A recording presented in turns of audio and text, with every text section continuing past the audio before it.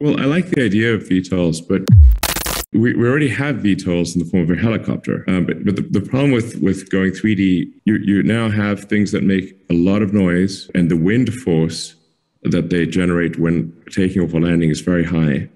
Um, I mean, if you just say, like, look at a little drone and say, now imagine if that thing was big what a racket it would make and how much wind force would it generate. And they're, now they're going all over the place, like a giant beehive of super noisy bees. Then there's also the weather dependency.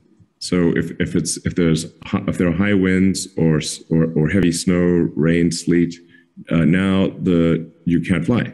Um, then there's the the probability of something falling on your head is much higher if there are all these uh, you know VTOLs flying all over the city. So I think these are all uh, reasons why I, have, I think VTOLs will not succeed.